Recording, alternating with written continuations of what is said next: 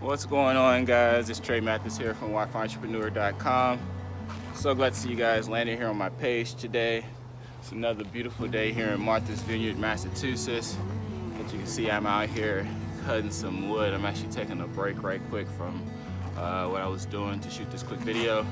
I want to tell you guys, or share with you guys rather, uh, something that I learned from a friend just the other day. So let's go ahead and get started. This is the Wi-Fi Journal.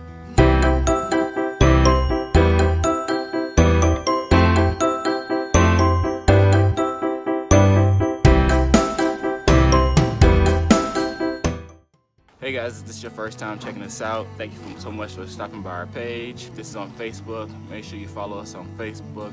If this is on YouTube, make sure you subscribe to our YouTube channel as well. We're here to help you turn your passion into profit, show you different ways you can create an online brand and earn income through that brand.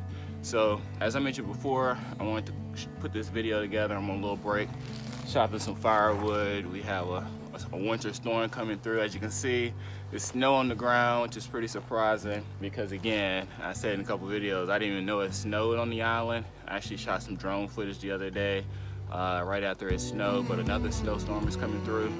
So in order to be prepared which I like to talk about a lot preparing for your future out here chopping wood now. Let me tell you a little something about this wood experience. This right here is actually my third time chopping wood in my life, but my third time chopping wood this week. Now, what's interesting about that is, is one, I didn't know how to chop wood. You know, you can see it, I've seen it done, it's pretty straightforward, you know, I, it's not that, but I have attempted before I saw the axe. I'm from the city, you know, we didn't really chop wood. So I saw the axe, I saw I had already had tons of wood, but I ran out of the smaller pieces, what they call kindling. And the kindling is what helps gets the fire going, our fireplace going upstairs. And if you don't have any kindling, it's quite challenging to get a fire going. And, and right now I have like these huge logs, right? And you try to put those huge logs in the fireplace, add some paper and so on and so forth to get it going. But without kindling, it's almost impossible to do. So here just the other day, I had a friend over the house. We were hanging out, and my wife asked me to make the fire, and I went to make the fire with the big logs that I had. Start putting paper in, putting paper in. The fire would start, and then it would just die out. Then it would start again. I'll put more and more paper in. Fire would start, and then it would just die out. And it was like, man, you know, here it is. I have a guest over. and I can't get this fire going, you know.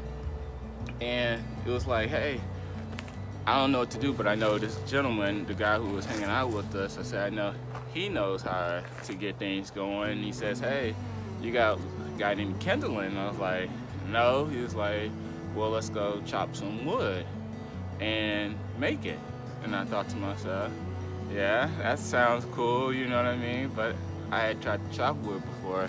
I didn't say this to him. I was like, I had tried to chop wood before. I, I really don't know how to do it. Here at my house, and I don't, I really don't know how to chop wood. Know, I never done it before. So I was like, yeah, let's let's go and chop. Go ahead and go down there and do it. You know. And as we came downstairs uh, to outside, like, hey, here's the wood, here's the axe, and he's like, uh, all right, let's let's let's get it going. And I said, hey, I, I don't know how to do it. I said, can you show me how to do it? He's like, yeah, no problem. I'll show you how to do it. And boom, got down there and showed me how to chop the wood. And, and it was like, I got it now. So I said, let me get a let me get a swing at it. And what I do, grab grab the axe, grab the log, whack, whack, whack. Chopping wood, split some beautiful wood like you see over there in the corner. But what the lesson to it for me was, is you have to be willing to ask for help. You have to be willing to ask how to do things you don't know how to do that someone else does. You know what I mean? You can't just keep trying the way that you've been trying and you see it's not working. You can't keep just loading paper into the to the fireplace if it's not working. You can't keep marketing your business the way you've been marketing it if it's not working. You have to learn a better way of doing it.